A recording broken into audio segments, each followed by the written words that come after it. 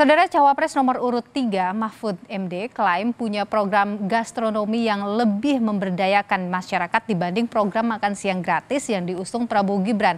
Sementara pasangan nomor urut 1 Anies, Bas, uh, Anies Muhaimin ini akan memprioritaskan kesehatan ibu hamil untuk atasi stunting dan gizi buruk. Ya. Pasangan Capres-Cawapres nomor urut 3, Ganjar Mahfud, kembali menyinggung program makan siang gratis untuk anak sekolah yang diusung pasangan Prabowo Gibran. Cawapres Mahfud MD mempertanyakan prospek program makan siang gratis Prabowo Gibran. Mahfud menyebut pihaknya punya program yang lebih baik, yaitu program gastronomi yang diklaim lebih memberdayakan masyarakat. Oh, makan siang gratis itu menurut bagus lah, tetapi prospeknya apa? Gitu. Kita lebih dari itulah orang tidak hanya dikasih ikan tapi diberi pancingnya.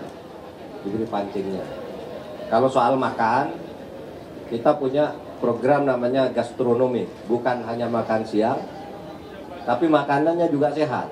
Karena makan siang gratis susu dan sebagainya itu kan impor kira-kira gambaran kita. Barang-barang impor. Kalau gastronomi dari bumi-bumi kita dan laut kita itu nanti. Tetapi tidak dalam sebuah program yang uh, apa khusus dan seketika gitu itu nanti akan menjadi bagian dari program yang jangka panjang.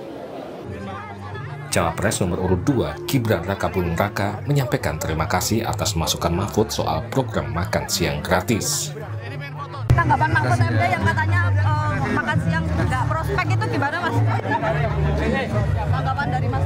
Ya terima kasih masukannya Pak. Mas terkait panggilan Bawaslu Sebelumnya dalam debat Cawapres 22 Desember lalu, Gibran menyebut program makan siang gratis sebagai bagian dari infrastruktur sosial menuju Indonesia emas.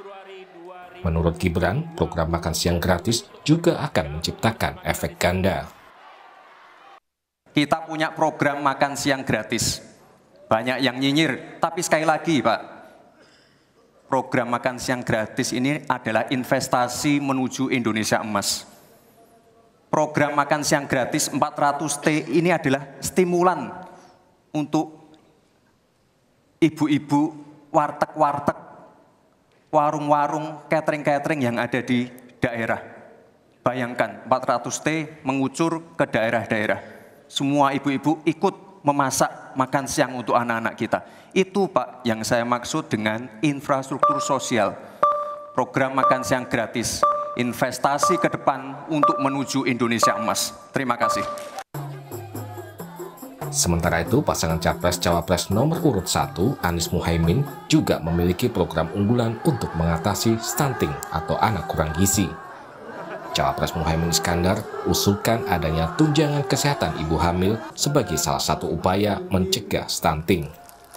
Saya mengusulkan ibu hamil mendapatkan tunjangan khusus itu ada yang bilang nanti kalau diumumkan itu banyak orang-orang ingin hamil maka wajib hukumnya negara memperhatikan keturunan sampai mulia hidupnya. Data tahun 2022 menunjukkan 21,6 persen atau 4,5 juta balita di Indonesia mengalami stunting. Pemerintahan Presiden Joko Widodo menargetkan di akhir masa jabatannya atau pada tahun 2024, prevalensi stunting berada di angka 14 persen. Tim Liputan, Kompas TV.